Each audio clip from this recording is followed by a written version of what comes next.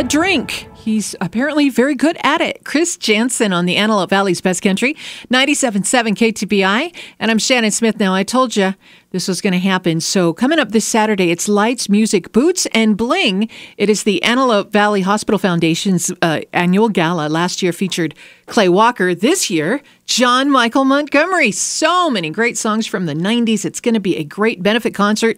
And this year, all the money raised is going to be earmarked for the Antelope Valley Hospital's mental health unit, which opened back in 1971. And it's the only hospital based mental health unit in the Antelope Valley. It cares for about 5,000 patients who have mental health care needs.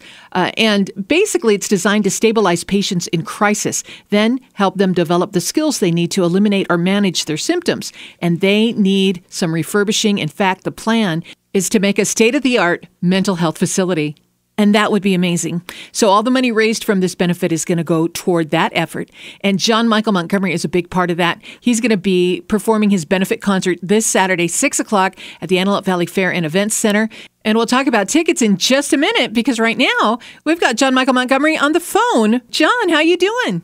I'm doing well, thank you. I appreciate that. Thank you so much for calling us. We do appreciate it. Of course, we've got a very exciting weekend planned with the uh, Antelope Valley Hospital Foundation's big gala. We're so happy to have you back in the Antelope Valley.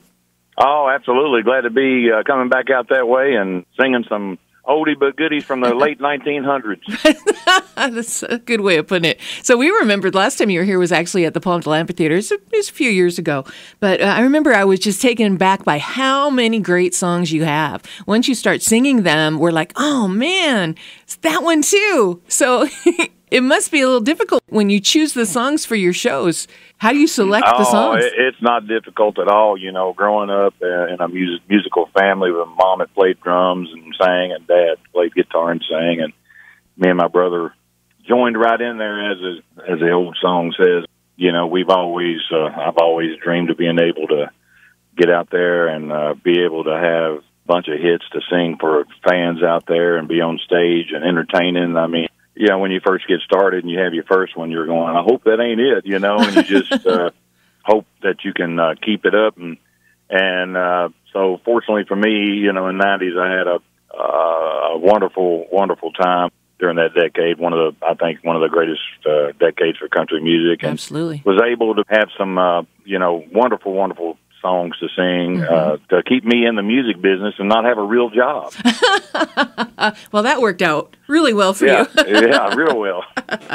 well, we, we love the music. We can't wait to see you. Has your show changed at all over the years, or what kind of show do you have exactly planned for us uh, on this night, Saturday night? Well, oh well, you know, I mean, I just you know, I just try to sing as many hits as I can, and uh, I enjoy thoroughly being on stage and watching the crowd sing along uh, with some of the songs and and uh, it's it's fun to watch. Uh, you know, when I sing the uh, love songs and you know the people, uh, you know, just uh, hugging each other and some of them slow dancing, and because uh, I don't mind that at all, I, oh, awesome. I encourage it. As a matter of fact, you got room to uh, grab a hold of the one you love and slow dance one of those love songs, you know, that's uh, grown up in the honky tonks and bars. That's what right. what I cut my teeth on was getting people to get on the dance floor. And of course, the fun tunes like "So Wouldn't Be My Baby Tonight." You know, right. they it's fun to watch them try to uh, keep up with the lyrics in those two. But uh, you know, I, the the serious songs like "The Little Girl" and "Letters from Home," you know, right. I mean they they they make your eyes water. You know, yep. and there's so much satisfaction as an entertainer and a and a singer to be able to know that fans are out there that your songs touched them in that way that uh, you know it can bring out uh, all the emotions and I've been just so fortunate to be out here and still on the road. You know, 27 years later, uh, right. uh, still able to get out there and and people still appreciate my music. Oh yeah, definitely. I love the the transportive quality of music.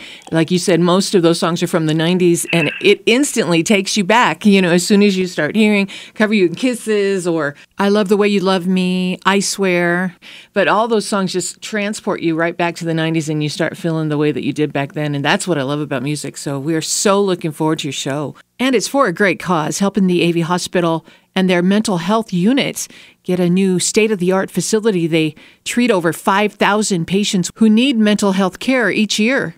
Well, yeah, I mean, it, it, there's definitely uh, a shortage of uh, uh, mental health care in this country. So Right. the, for the Antelope Valley to be able to step up and really help out and and and try to make that more accessible for, for folks that need it is a you know I'm very very excited to be a part of that and help out for sure.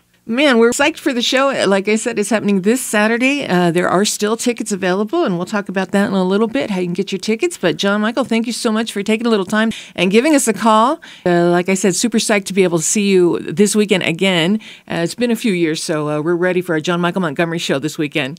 Well, me too. I'm looking forward to getting out there and enjoying some of that wonderful weather you all have all the time. Well, we certainly do lately. That's right. All right. Well, uh, we'll see you on Saturday. And again, thank you so much for calling. And we're looking forward to it. Have a great day. Right, you too. He's great. So for tickets, you need to call 661 949 5810 or online, avhospital.org forward slash events. You'll find out about ticket prices, ticket availability, and uh, of course the raffle prize tickets as well. All the information there uh, is at the website. Again, avhospital.org forward slash events. We're coming back with another long stretch of country next at KTPI. The Avies